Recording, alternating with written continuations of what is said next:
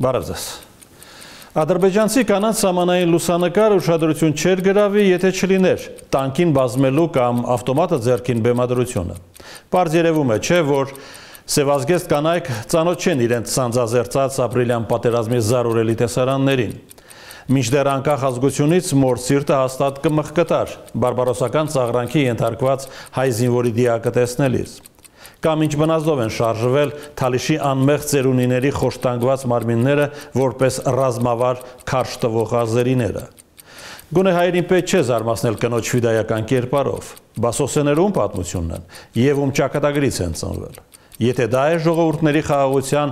նախապատրաստելու ձեր պատկերացումը, մեզ այլ ընտրություն չի մնում, քան հետևել հрьяաների օրինակին